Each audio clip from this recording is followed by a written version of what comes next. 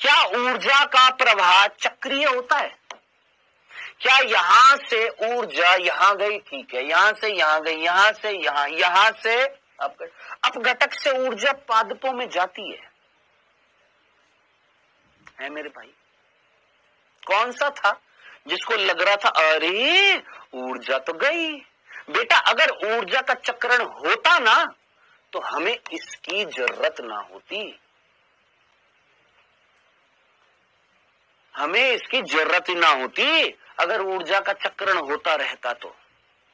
दिशात्मक होता है, चक्रण दर्शाता है फॉल्स हमेशा ऊर्जा का प्रवाह कैसा होता है? हमेशा। हमेशा। कैसा होता है? एक दिशात्मक होता है। हमें नहीं पढ़ाया। ग्यारहवीं कक्षा में चीज़ बता दी जाती है, इलेवेंथ क्लास में, और पता होनी चाहिए ये। हमें नहीं पढ़ाया।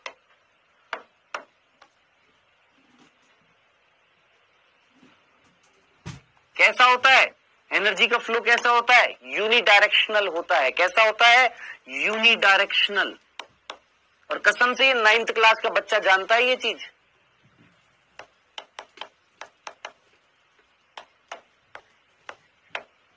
कैसा होता है? यूनिडायरेक्शनल होता है। किसका फ्लो हमेशा एनर्जी का एक दिशा में होता है। एक दिशा में। अब आप बोलेंगे, इसके पास जो एनर्जी है उसका क्या होएगा? अरे प्रभु, जरा सोच। इतना भी कहीं दसवीं कक्षा में भी अगर पड़ा हो, इतना सा। यहाँ से यहाँ जो एनर्जी जाती है कि सारी की सारी चली जाती है। अब तो उष्मा गतिक आती है ना थर्मोडायनेमिक्स आती है ना। क्या यहाँ से यहाँ पूरी की पूरी एनर्जी चली जाती है? उसका कुछ लॉस भी होता है। हीट के फॉर्म में, ऊष्मा के रूप में। होता है ना? केवल टेन परसेंट एनर्जी जाती है, याद आ रहा है? दस प्रतिशत का नियम कभी सुना है? सुना है ना दस प्रतिशत का नियम? हाँ सर लिंडमान ने दिया था। हाँ सर सुना हुआ है। यहाँ पर जितनी एनर्जी होती है, उसका केवल दस प्रतिशत जाता अब यहाँ से फिर दस प्रतिशत, यहाँ से दस प्रतिशत इसके पास पहुंचेगा। हाँ अब जरा सोच। कितना कम पहुँचा है यार। सोच यहाँ पर इस पेड़ के पास में सौ जूल या किलो जूल एनर्जी है। इसके पास कितनी पहुंचेगी? दस जूल। इसके पास एक जूल। इसके पास कितनी पहुंचेगी? Zero point one joule. अरे भैया, इतनी कम पहुंचेगी कि फाइनली फिर खत्म हो जाएगी। मतलब खत्म मतलब इन द सेंस दूसरे कार्यों में उपयोग में आ जाएगी या उसका लॉस हो जाएगा हीट के रूप में। तो हमेशा याद रखना है एनर्जी का फ्लो कैसा होता है? यूनिट डायरेक्शनल होता है। अगर एनर्जी का चक्रण होता, अगर एनर्जी की साइकिलिंग होती रहती ना तो दोस्त, हमें इसकी कतई ज़रूरत नहीं थी। पेड़ को फिर इसकी तो ज़रूरत ही ना होती। ये तो सीधा यहाँ से डिंग चिक डिंग चिक डिंग चिक डिंग चिक डिंग चिक डिंग चिक क्या चलता रहता? चक्रण चलता रहता किसका? एनर्जी का। हमें इसकी ज़रूरत होती ही ना। लेकिन हम जानते हैं, ऊर्जा का एक मात्र स्रोत जो है, ऊर्जा का एक मात्र स्रोत जो है वो कौन है, ये भी तुम जानते हो। Sun is the only source of energy और कोई सोर्स ही नहीं है हमारे पास किस चीज़ का? एनर्जी का। जानते हैं ना? जब इतना, ये तो जानता है ना मंजीत वर्मा, कि सूर्य एकमात्र स्त्रोत है प्रकाश का। अब ये मत कहना, सर, ये भी नहीं पढ़ाया था हमको। जब इतनी सी बुद्धि लगा सकता है कि सूर्य एकमात्र स्त्रोत है प्रकाश का, एकमात्र स्त्रोत है ऊर्जा का, प्रकाश क्या एक प्रकार की ऊर्जा है? सूर्य एकमात्र स्त्रोत है, एकमात्र सोर्स है किसका? एनर्जी का। तो जरा सोच, क्या पेड़ को एनर्जी यहाँ से मिलेगी? अब घटक से मिलेगी? पेड़ को यहाँ से एनर्जी मिलेगी। फिर ये एनर्जी आगे बढ़ती जाएगी बढ़ती जाएगी बढ़ती जाएगी और फाइनली बहुत कम हो जाएगी। लास्टली हीट के रूप में कन्वर्ट हो जाएगी। डन क्लियर है ये वाली चीज़? तो अब आप मुझे बताइएगा यहाँ पर इकोसिस्टम की संरचना तो इन दोनों ने बना दी? हाँ जी। और उस इकोसिस्टम में कार्य क्या हो रहा था? सर, पहला कार्य ऊर्जा का प्रवाह हो रहा था। कैसा हो रहा था ऊर्जा का प्रवाह? हमेशा एक दिशात्मक होता है। डन और भी कोई कार्य यहाँ पर तुमको दिख रहा है? जरा सोचो, क्या यहाँ पर खनिजों का चक्रण हो रहा है या खनिजों का प्रवाह एक दिशात्मक है?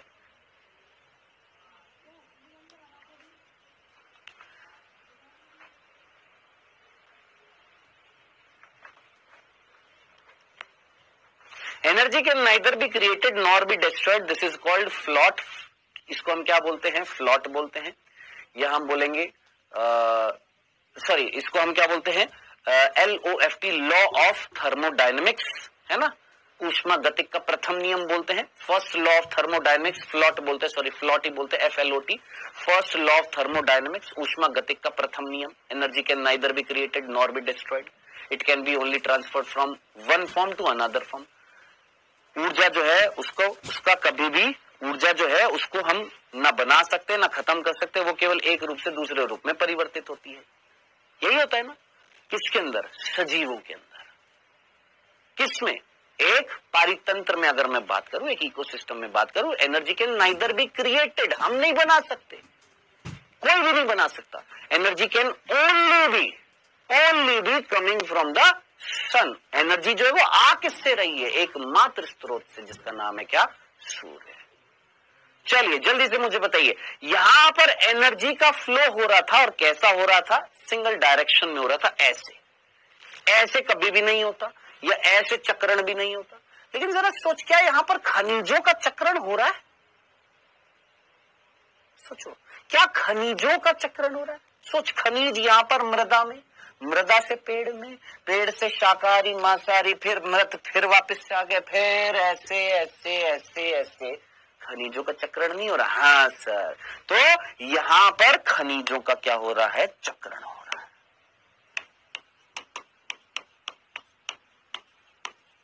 क्या ये भी एक कार्य है हमारे? बहुत इंपॉर्टेंट कार्य है दोस्त, ये वाला कौन सा? खनिजों का चक्रण। सोच, अगर खनिजों का चक्रण ना होता, यहाँ से खनिज अगर पादप में ना जाते, पादप ज़िंदा रहते। जब पादप ज़िंदा ना रहते तो क्या शाकाहारी ज़िंदा रह पाते? अरे, जब यही नहीं है तो ये खत्म ये खत्म खत्म। पारितंत्र बन ही ना पाता। तो सबसे इंपॉर्टेंट कौन है भैया? ये खनिजों का चक्रण तो बहुत ज़रूरी है। वैसे तो सारी की सारी चीज़ें ज़रूरी है है ना? तो खनिज चक्रण इंपॉर्टेंट प्रक्रिया है। हाँ अब ये खनिज का चक्रण हो रहा है। याद रखना, ये कैसी प्रोसेस है? साइक्लिकल प्रोसेस है। अब मैं आपसे पूछ रहा हूँ, ये खनिज चक्रण कराने के लिए रेस्पॉन्सिबल कौन है इस प्रक्रिया में? सोचो, इनमें से कौन है जिसकी वजह से खनिजों का चक्रण है दिमाग लगाइए। दिमागी से खनिज यहाँ पर। देखो भाई, मैं आपसे सीधा बोलू, ये एक पहाड़ था। इधर ध्यान से सुनना। ये एक पहाड़ था। इस पहाड़ के अंदर खनिज होते हैं। क्यों? आप जानते हैं जो पृथ्वी, जो लिथोस्फेयर जो है, हमारा स्थल मंडल है, इसमें जो चट्टाने होती है, इनके अंदर क्या है? सर, खनिज है, बिल्कुल है। चलो ये सर पहाड़ था। लिथोस्फेयर है, चट्टान है, इसके अंदर खनिज है। हाँ सर, इसके अंदर खनिज है। कैल्शियम, मैग्नीशियम, पोटेशियम, सल्फ़र, सब कुछ है। कॉपर, जिंक, सब कुछ है। आयरन, लोहा, वो सब कुछ है। अब हमने यहाँ से बरसात कर दी, हवा चला दी। इसको हम क्या बोलेंगे? अपर्दन बोलेंगे। इसको हम क्या बोलेंगे? एक तरीके से वेदरिंग बोलते हैं। इसको क्या बोलते हैं? वेदरिंग ऑफ़ रॉक्स चट्टानों का अपर्दन कहते हैं। और चट्टाने जो है, जब इसका अपर्दन होएगा, अपर्दन मतलब ये टूटेगी चट्टान। जब ये टूटेगी तो छोटे छोटे इसके कण बनेंगे। हाँ सर। और छोटे छोटे जब इसके कण बनेंगे तो हम क्या बोलेंगे? सर, मृदा बन गई है। और होएगा मृदा, और होएगा मृदा। इस तरीके से मृदा का क्या होता है? निर्माण होता है। मिट्टी का क्या होता है? इस तरीके से निर्माण होता है। किसका निर्माण कर दिया बेटा हम लोगों ने? मृदा का निर्माण कर दिया। पहले पादा पाया जंतु कसम से हमने विकास चैप्टर की तो ऐसी धज्जियाँ उड़ा दी है क्वेश्चन पूछ के। हाँ जी, क्या बन गई यहाँ पर? मृदा बन गई है। चलो जी। क्या इस मृदा में, क्या इस मृदा में खनिज है? हाँ सर, मैंने यही तो तेरे से पूछा। मृदा के अंदर खनिज है? हाँ सर, मृदा के अंदर कौन है? सर मिनरल है। अब ये मिनरल पादप ने एब्जॉर्ब कर लिए, चलो चले गए। पादप से शाकाहारी शाकाहारी से मांसाहारी मांसाहारी से मृत कार्बनिक पदार्थ। अब इमेजिन कर, इस मृत कार्बनिक पदार्थ से वापस से मृदा में लाने के लिए कौन रिस्पॉन्सिबल था? मृदा में तो मिलते हैं। मृदा में, यानी सॉइल में, हमारी जो सॉइल है, उस सॉइल के अंदर तो खनिज मिलते हैं।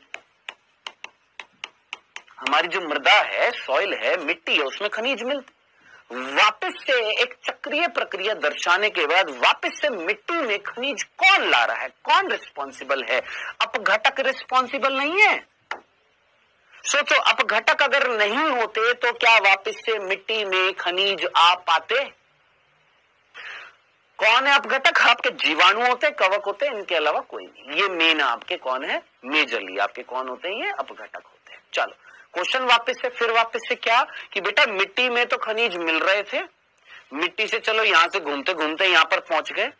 अब अगर ये ना होते, जीवाणु कवक ना होते इस पृथ्वी पर, दिमाग लगा तो क्या ये खनिज वापस से मिट्टी में आ पाते? नहीं सर ऐसे करते करते सोच मिट्टी में सारे खनिज खत्म हो जाते? हाँ सर अगर ये वापस नहीं आ पाते, खनिज वापस से मृदा में नहीं आ पाते तो ये तो पादप यूज़ में लेते जाते लेते जाते, मरते जाते मरते जाते मरते जाते, मिट्टी में नहीं आ पाते। और मिट्टी में नहीं आ पाते तो एक टाइम ऐसा होता कि कहीं ना कहीं खनिज खत्म हो जाते, खनिज खत्म हो जाते तो पादपों को नहीं मिलते, ये पूरा पारितंत्र खत्म हो जाता। तो खनिजों का चक्रण इंपॉर्टेंट है या नहीं है? सोच।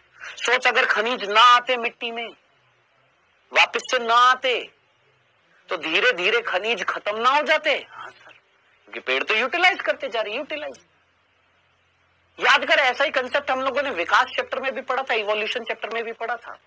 याद आ रहा है तेरे को प्री बायोटिक सूप याद आ रहा है? उस प्री बायोटिक सूप में कोई विषम पोषी थे हेटोट्रॉफ थे? वो कहीं ना कहीं कार्बनिक पदार्थ को अगर लेते जाते लेते जाते लेते जाते लेते जाते तो एक टाइम पर क्या हो जाते? कार्बनिक पदार्थ खत्म हो जाते और विकास क्या हो जाता? थम जाता। है ना? वही सेम सेम टू सेम चीज़। कि अगर ये कार्बनिक पदार्थ वापस से मृदा में ना आते, नहीं आते, मान लो ये नहीं आते, ये मिनरल्स ये मिनरल्स अगर मृदा में नहीं आते, मान लो यहाँ पर नहीं आते तो मिनरल्स जितने भी मृदा में वो सारे के सारे धीरे धीरे धीरे धीरे पादप यूज़ में ले लेता और सारे के सारे यूज़ में ले लेता एक टाइम ऐसा आ जाता कि भैया सीधी सी बात है, अब पादपों को खनिज नहीं मिलेंगे, खनिज नहीं मिलेंगे पादप खत्म, उत्पादक खत्म, उपभोक्ता खत्म उपभोक्ता खत्म अपघटक खत्म पारितंत्र खत्म हो जाता, सब कुछ खत्म हो जाता। डन। तब आप मुझे बताइए, क्या इस खनिजों के चक्रण में पादप जिम्मेदार हैं, शाकाहारी जिम्मेदार है, मांसाहारी जिम्मेदार है या अपघटक जिम्मेदार है? तो याद रखना, खनिजों के चक्रण के लिए जिम्मेदार कौन होता है? भूल मत जाइएगा हु इज़ रिस्पॉन्सिबल अपघटक। कौन कराता ये काम?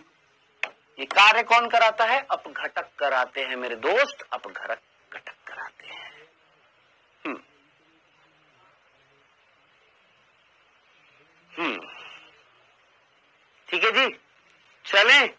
सो, यहाँ तक की बात सुनने समझने के बाद अब मुझे बताइएगा, एक पारी तंत्र में चार चीज़ें होनी चाहिए। संरचना भी होनी चाहिए और उस पारी तंत्र में कार्य भी होना चाहिए। क्या? एक पारितंत्र जो होता है, उसके अंदर चार चीज़ें होनी चाहिए। क्या चार चीज़ें? दो चीज़ वो जो पारितंत्र की संरचना बनाए, दो चीज़ें वो जो पारितंत्र के कार्य करें। समझ में आया? क्या? ये दो तो क्या बनाएँगे? पारितंत्र की संरचना। और ये दो जो है, ये है पारितंत्र के कार्य। और ये चारों चीज़ें जहाँ पर मिलेगी, उस जगह को हम क्या बोलेंगे? पारितंत्र। इतनी सी बात सुनने समझने के बाद, अब मुझे बताइए, जिस कमरे में मैं खड़ा हूँ, क्या ये एक पारी तंत्र है? बोलो। तुम बेटा, पढ़ाई के अलावा और मतलब ऐसे फिलोसफिकल क्वेश्चन ही क्यों पूछते हो? सर डेथ के बाद एनर्जी कहाँ जाती है? बेटा स्टिक रहना अपने टॉपिक पर। पीएचडी करने का तेरे पास भरपूर समय मिलेगा। आएगा, समय आएगा। और वैसे भी डेथ होने के बाद में जो एनर्जी जो होती है, वो अपघटकों के पास में जा रही है। और फिर उन अपघटकों के पास इतनी कम जाती है कि वो जितनी उनके पास पहुँची, वो उसको यूज़ में ले लेते हैं और उसका थोड़ा सा भाग ऊष्मा के रूप में निकल जाता है। डन तो एनर्जी खत्म भी नहीं हुई, ट्रांसफ़र हो गई किसमें? हीट की फॉर्म में। ओके मेरे बेटे। डंडना डंडन कंसेप्ट क्लियर हो गया। ये चीज़ समझ में आ गई है कि who forms ecosystem and what is the function of ecosystem तो these two forms ecosystem they are the structural component and these are the functions of ecosystem ये जो है, ये कार्य है किसके इकोसिस्टम के? और ये संरचना बनाते इकोसिस्टम की। सीधा सा क्वेश्चन मैंने आपसे पूछा था, क्या ये जगह एक पारितंत्र है? नहीं। क्यों सर? क्योंकि उत्पादक नहीं है। पहली बात तो यहाँ पर कोई पेड़ पौधा नहीं उग रहा है स्टूडियो में। चलो उपभोक्ता तो है, मान लिया, उपभोक्ता है।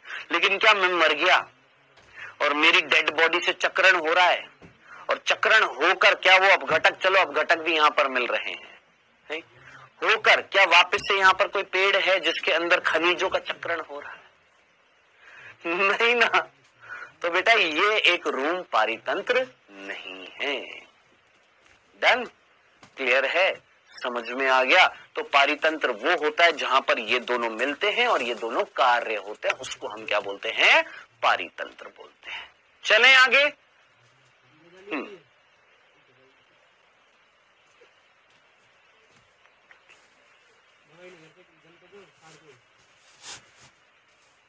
एनर्जी में आपने गलत कर दिया है। क्या कर दिया बेटा मैंने एनर्जी में? क्या कर दिया मैंने एनर्जी में, मेरे दोस्त?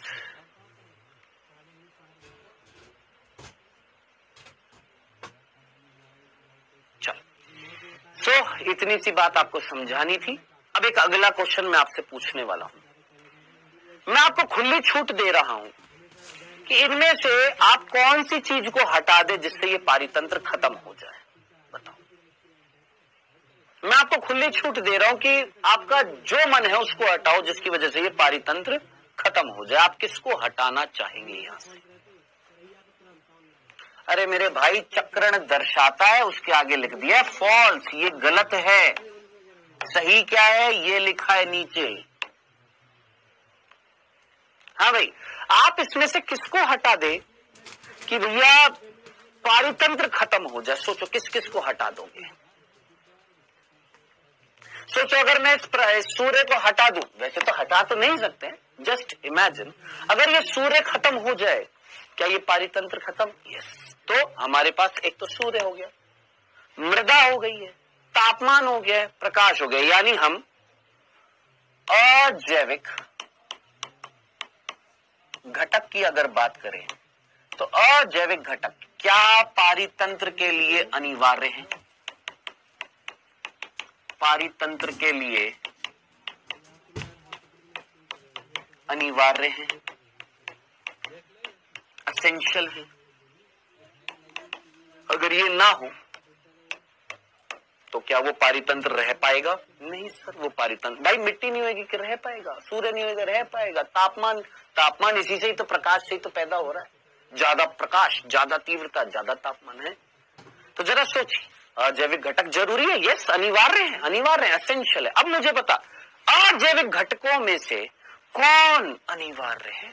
सोच, अगर ये पादप ना होते, ये प्लांट ना होते, क्या ये पारितंत्र चल पाता? सोच, ये प्लांट ही ना होते, क्या ये एनर्जी को यूटिलाइज करके खाना बना पाते? नहीं ना। तो पादपों का होना अनिवार्य है। पादप यानी उत्पादक। उत्पादक का होना अनिवार्य है। अगर आप इसको हटा दोगे, इसको हटा दोगे तो ये तो पारितंत्र खत्म हो जाएगा। नहीं? है ना? चलो जी। अब आप मुझे बताए, अगर आप अप घटकों को हटा दे, सोचो अगर आपने अप घटक को हटा दिया, इसको हटा दिया तो भैया इसका डिकम्पोजिशन कौन करेगा? इसका अपघटन कौन करेगा? कोई नहीं कर पाएगा। और कोई नहीं कर पाएगा तो भैया मिनरल्स वापस से नहीं आ पाएँगे। डेड बॉडी से मिनरल भी तो लाने हैं ना। खनिज चक्रण भी तो करना है ना। खनिज चक्रण ये कराता है। अगर तू इसको खत्म कर देगा इस पृथ्वी से तो सीधी सी बात है, पारितंत्र रह पाएगा, नहीं रह पाएगा, यानी आपके अपघटक भी जिम्मेदार है। अपघटक भी क्या है? अनिवार्य है। अब आप मुझे बताइएगा, सोच समझकर मुझे बताइएगा, शाकाहारी को हटाने से और मांसाहारी को हटाने से कछु फ़र्क पड़ेगा। सोचो। सोचो, अगर ये शाकाहारी ना होते, ये मांसाहारी ना होते तो क्या पारितंत्र खत्म हो जाते? सोच। सोचो, दिमाग लगाओ। अगर ये शाकाहारी ना होते, ये मांसाहारी ना होते तो भी तो प्लांट मरते, उत्पादक मरते, और उत्पादक तब मरते तो उनका अपघटन होता, वापस से ये पूरी प्रक्रिया चलती रहती। ये देख, ये प्रक्रिया। ये तो धरती पर बोझ है। अजी तुम, मैं, हम सब धरती पर बोझ है, जनाब। ये बोझ है। ये अगर ना भी होते तो भी पारितंत्र नहीं बना रहता, सोच। भाई, पारितंत्र में हमें क्या चाहिए था? सर, जैविक जैविक और अजैविक। एनर्जी का फ्लो और खनिज चक्रण। हो रहा है? हाँ सर। अगर ये ना हो तो भी होगा। हाँ बिल्कुल होगा। बिल्कुल होगा। सोच, ये नहीं है, ये नहीं है। तब भी ये प्रक्रिया चलेगी ना हाँ सर चलेगी। तो सोच, क्या ये दोनों अनिवार्य घटक हैं? ये आवश्यक असेंशियल घटक है? नहीं, सर। ये नीट का क्वेश्चन पूछा गया है, याद रखना। पारितंत्र में पारितंत्र में कौन से घटक, कौन से घटक नॉन असेंशियल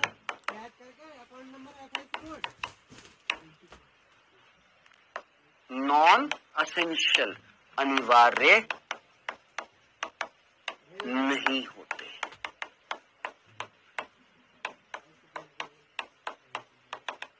तो आंसर क्या आ जाएगा बेटा आपका? सीधा सीधा कौन? उपभोक्ता। जागो, ग्राहक जागो। कौन उपभोक्ता? ये कौन है मेरे भाई? ये और ये उपभोक्ता है। उपभोक्ता जो भोजन ले रहे हैं, इसने इससे ले लिया, इसने इससे ले लिया, ये दोनों उपभोक्ता, ये उत्पाद पैदा कर रहा था, उत्पादक डन समझ में आ गया? ये क्वेश्चन पूछा गया, याद रख लेना। स्टार बना रहा हूँ, इसीलिए स्टार बना रहा हूँ, क्योंकि ये क्वेश्चन पूछा गया है। ये अनिवार्य ये अनिवार्य ये अनिवार्य है किसके लिए? पारितंत्र के लिए। ये है बोझ। कौन उपभोक्ता ना भी होते तो भी पारितंत्र चलता रहता। अगर ये ना भी होते ना इस पृथ्वी पर तो भी पारितंत्र चलते रहते।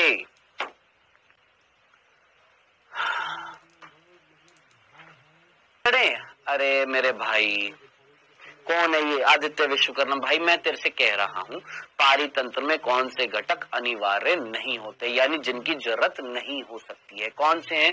जिनके बिना पारितंत्र चल सकता है। सर, इनके बिना, सॉरी, इनके बिना चल सकता है। और वैसी बात है, ज़रूरत तो इनकी भी होगी लेकिन अगर ये ना हो तो क्या चल जाएगा? बिल्कुल चलेगा, बिल्कुल दौड़ेगा। ये था कंसेप्ट चलो जी। यहाँ तक की बात अगर आपके पल्ले पड़ गई है तो वापस अपने टॉपिक पर आते हैं और हम यहाँ पर पढ़ रहे थे कि भैया पारितंत्र क्या होता है, ये मैंने आपको बता दिया है। पारितंत्र जो होता है, शब्द किसने दिया था? टेंस लेने पारितंत्र के पापा कौन थे? ओडम अंकल थे। अब आगे बढ़ते हैं बेटा। मुख्य मुख्य बिंदु पढ़ने फटाफट निपटाते सिंपल सिंपल सी चीज़ें, बहुत सिंपल सिंपल सी चीज़ें हैं। बोरिंग, लगने नहीं दूँगा, लेकिन किसी को लग रहा है तो फिर क्या ही करे फिर। आगे बढ़ते हैं। सबसे पहला बिंदु जरा दिमाग लगाइएगा। पारितंत्र जो होता है, ये हमारे पर्यावरण की पर्यावरण की सबसे छोटी संरचनात्मक और क्रियात्मक इकाई है। क्या आप में से किसी बच्चे को याद आ रहा है? मैंने एक क्वेश्चन पूछा था जब मैंने पारिस्थितिकी पदानुक्रम पूछा था। मैंने आपसे पूछा था पारिस्थितिकी पदानुक्रम की, पारिस्थितिकी पदानुक्रम की स्व नियंत्रित स्व चालित स्वतंत्र संरचनात्मक और क्रियात्मक इकाई कौन है? सर, अब घटकों में इवोल्यूशन हो जाए तो? हाय मेरी माँ। तुम जान पूछ के ऐसा करते हो ना? सच्ची सच्ची मुझे बताओ। सर, प्रकाश में म्यूटेशन हो जाए। सर, वायु में म्यूटेशन हो जाए।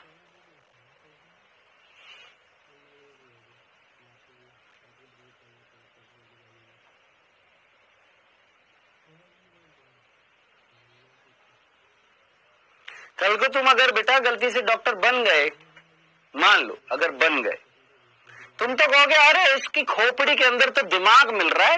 दिमाग एक काम करते दिमाग को घुटने में डालते हैं और घुटने में से जो गीटी है उसको निकालकर या घुटने की हड्डी जो है, या यहाँ पर जो हड्डी है उसको निकालकर हम यहाँ पर लगा देते हैं यार। ऐसा करके देखते देखो क्या पता कोई नए प्रकार का मनुष्य बन जाए।